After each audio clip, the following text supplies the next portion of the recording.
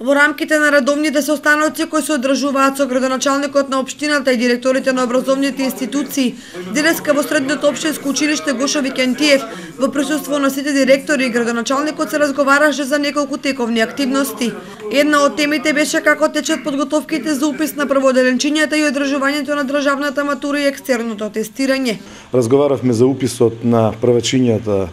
во за текот на уписите за првачињата во прво оделение и разговаравме за а, подготовките за уписите во средното образование до каде сме дојдени, како сме дојдени што сме дојдени и очекуваме дека за две седмици ќе ги имаме конкретните резултати, конкретните бројки во делот на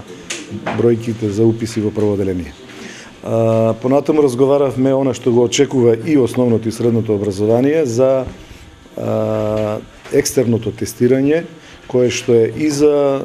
учениците и за наставниците и професорите, подготовките до каде е дојдено, што е дојдено и што се очекува во текот на наредниот период до 10 јуни. Можам да ги пофалам нашите сите училишта, дека на највисоко ниво е отпочната организацијата и дека преку 95% се завршени работи, во некои од училиштата си 100% завршени